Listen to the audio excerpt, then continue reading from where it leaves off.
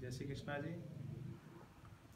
हम मन में जो भी सोचते हैं, वो सोच का जिसके बारे में हम सोच रहे हैं, उस व्यक्ति को उसके बारे में पता लग जाता है। जैसे एक बार प्राचीन काल में लोग पैदल यात्रा किया करते थे। तो एक कोई बूढ़ी माई अपनी बेटी को लेके जा रही थी साथ में। पुराने ज़माने में कोई लोग और बैंक तो थे नहीं तो सोना, धन जो होता था, साथ ही लेके चलते थे। जहाँ जाते, साथ लेके जाते थे। कुछ पोटली में उसके सोना या कुछ जो धन था वो साथ में था। एक उसकी जो लड़की थी, साथ लेके जा रही थी।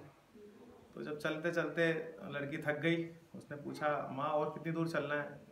तो उसको बहलाने के लिए कहती है कि अभी वो जो आगे पेड़ आ रहा है, वहाँ तक चलते हैं। उसके पास पास में ही तेरे मामा का गाँव है। वो अपने मायके जा रही थी। तो आगे चलते चलते जब बहुत थक गई तो एक कोई व्यक्ति ऊँट पे बैठ के जा रहा था। कोई जवान लड़का, नौजवान लड़का था। ऊँट पे बैठ के जा रहा था।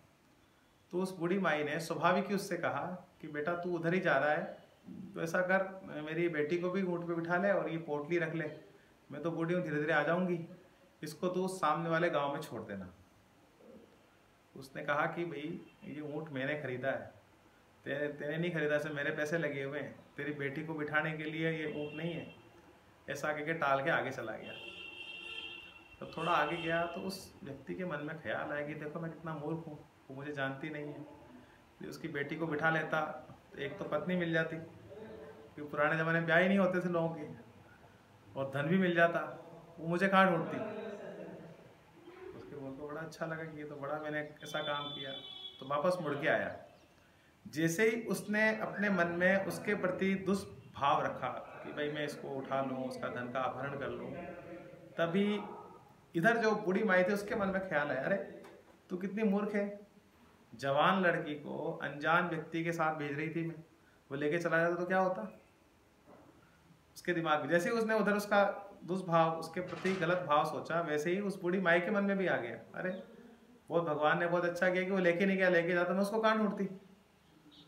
तो वो जो व्यक्ति था, उसके मन में आया तो सोचा कि चलो, अभी कौन सा मैं दूर आया हूँ, वापस चलता हूँ। माई को कहूँगा, फिर ले आऊँगा। जब वापस आया वापस आके उस माई से कहा कि फिर तो जब लेना हो तो प्रेम से बोलता ही माता जी प्रणाम। मेरे मन में विचार आया कि चलो आपका थोड़ा सहयोग हो जाएगा आपकी इस बेटी को बिठा दो और आपकी पोटली को मैं आगे गाँव छोड़ देता हूँ। तो बूढ़ी माई कहती है कि जो तेरे कान में कू कर गया ना वो मेरे मन में भी कू कर गया है। जो तेरे को संकल्प हो गया है ना तो हमारे को भी संकल्प हो गया है। तो हम जो सोचते हैं ना कि कोई व्यक्ति हमारे बारे में पता, हम किसी के लिए अच्छा कर रहे हैं, क्या बताओ हमारे बारे में बुरा नहीं सोच रहा हो, बुरा नहीं करे, ऐसा नहीं होता है। यदि हम अच्छा अच्छा ही करने की सोचेंगे तो जो व्यक्ति गलत भी होगा ना तो कुछ समय के लिए अच्छा हो अच्छा ही होगा। इसलिए हमेशा ये सोचना चाहिए कि मैं हमेशा अच्छा करूँ, भले ही मेरे साथ कोई बुरा करे, कोई बात नहीं, वो बुरा करे तो वो, उसका दंड वो भुगतेगा। लेकिन हमेशा अपनी सोच बिल्कुल अच्छी रखनी चाहिए, हमेशा मन को स्वच्छ रखना चाहिए। कि उससे हमारा मन शुद्ध रहता है। जैसे कपड़ा होता है तो कपड़े में मेल लग जाता है, गंदा होता है, फिर उसको हम साबुन से धोते हैं। शर्ट हमारी गंदी हो जाती है तो हम उसको तुरंत उतार के पटक देते हैं। आप मान लो आए दुकान पे, घंटा भर भी नहीं हुआ शर्ट पे थोड़े हम छोड़ देते हैं। तो हमारा मन भी एक वस्त्र है उसको हम जितना स्वच्छ रखेंगे, उतना वो मन हमारा शांत रहेगा। और यदि ऐसे गलत हमारे मन में विचार आएँगे तो हमारा मन शांत नहीं रहेगा, उसके अंदर फिर विकार होना शुरू हो जाए। जैसे गंदे कपड़े पहनने से हमें उलझन होती है हम ऐसे तो नहीं उतारते हैं। हमें उलझन होती है, गंदे कपड़े हैं स्मेल आ रही है, हम तुरंत उतारते हैं। हमें उलझन होती है। वैसे ही मन हमारा दूषित होता है तो हमारे को मन स्थिर नहीं रहता, चंचलता आती है, तनाव होता है। मतलब आप देखेंगे हमारा मन बेचैन सा रहता है। लोग मेरे पास ही बहुत आते कहते महाराज, हमारा मन बहुत बेचैन रहता है।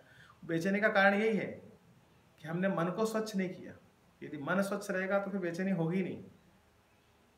बिना मतलब के क्रोध या आएगा ही नहीं। कि मन स्वच्छ रखें तो हमारा आजकल जो ये समस्याएँ हो रही हैं, ये सब समस्याओं का हल इसी के अंदर है। इसलिए अपने मन को स्वस्थ रखें। जैसे कृष्ण।